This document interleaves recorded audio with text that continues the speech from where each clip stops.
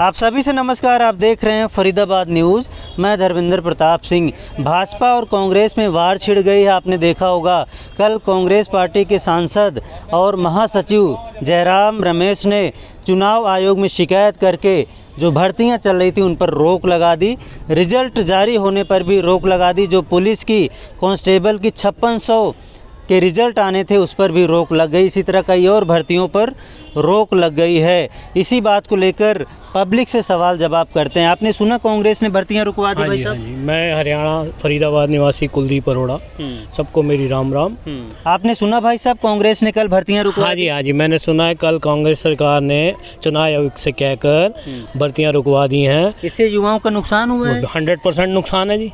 भर्तियाँ लगातार चल युवाओं में बिल्कुल रोष है।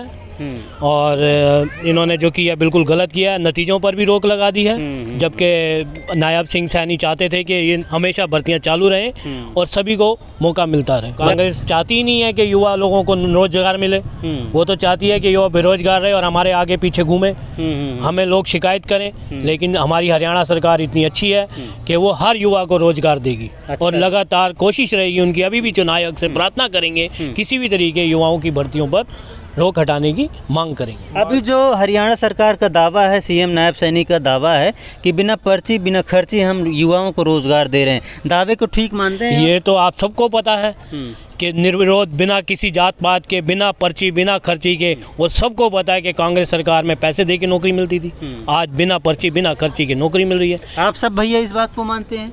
बिल्कुल। घूस नहीं देना पड़ता जब से ये बीजेपी गवर्नमेंट आई है चाहे खट्टर सरकार हो चाहे अब नायब सिंह सैनी जी की सरकार हो बीजेपी राज में हमेशा ही युवाओं को नौकरी बिना किसी पर्ची खर्ची के मिलती रही है जबकि पहले कांग्रेस राज में हमेशा ही जो जिसका जानकार होगा मंत्री या विधायक उसी को नौकरी मिलती थी और वो भी पैसे भी लेते थे और जानकारी भी होनी चाहिए। और एक विशेष समुदाय का भी ध्यान रखा जाता था उसमें।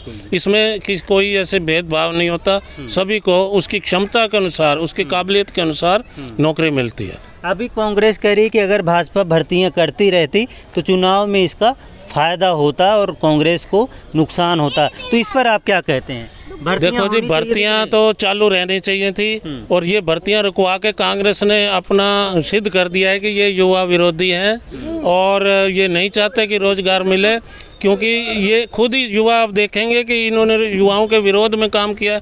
अब बहुत सारे युवाओं बेचारे जो इस प्रतीक्षा में बैठे थे कि हमें नौकरी मिलेगी एग्ज़ाम होगा रिज़ल्ट आएगा तो नौकरी मिलेगी। अब उनके जो आशाओं पे कुठाराघात कर दिया है उस कांग्रेस के लोगों ने अब ये युवाओं को देखना है कि आगे आने वाले चुनाव में उन्हें किस पार्टी का साथ देना चाहिए। हम्म, हम्म। तो कांग्रेस को भर्तियों पर रोक नहीं लगवानी थी? नहीं लगवानी चाहिए। आपका यही मानना है हाँ जी नहीं लगवानी चाहिए। जारी रहनी चाहिए। जारी रहनी चाहिए। और भर्तियाँ जारी रहनी चाहिए। जारी रहनी चाहिए। बिल्कुल जारी रहनी चाहिए। थी इससे हर वर्ग के युवा को फ़ायदा मिलता जिससे काफ़ी रोष है इस युवाओं में। और अ, जहाँ तक हम हमें समझ आता है कि ये बहुत गलत किया उन्होंने कि हर वर्ग के युवाओं के लिए बहुत ही क्षति हुई है उससे और ये जो चीज़ नहीं होनी चाहिए थी। बिल्कुल जी चुनाव प्रचार करते रहते लेकिन भर्तियाँ जारी रहती इससे किसी का नुकसान नहीं होने वाला क्यों भाई? बिल्कुल ठीक जी वो तो टाइम बताता बट इन्होंने ये गलत किया है। बिल्कुल बिल्कुल ठीक है। जी ठीक है। पब्लिक से हमने बातचीत की इनके विचार जाने। फरीदाबाद न्यूज़ से धर्मेंद्र प्रताप सिंह नमस्कार।